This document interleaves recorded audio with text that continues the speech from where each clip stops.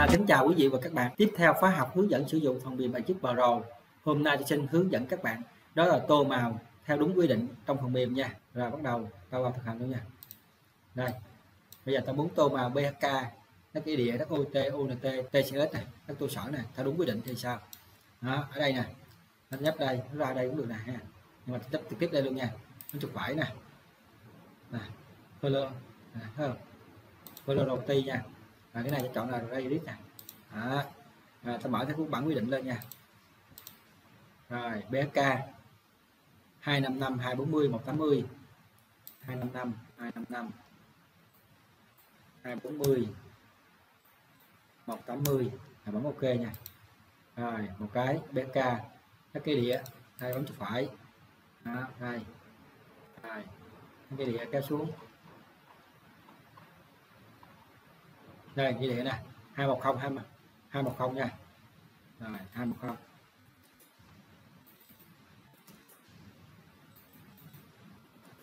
rồi ok nha. Đó cái này. Rồi, bây giờ tới đất UDT đó ở đô thị nha các bạn. UDT nè. 255 160 255 rồi. 255 160 255 là bấm ok. Tiếp theo là đất ONT 255 208 255 rồi đây. Chọn này, lên nha. Rồi 255 208 rồi 255 rồi, ok. Ờ. hai năm, hai là tám đúng rồi. Là đất trụ sở TCS đây, hai năm năm, một bảy mươi, một sáu mươi.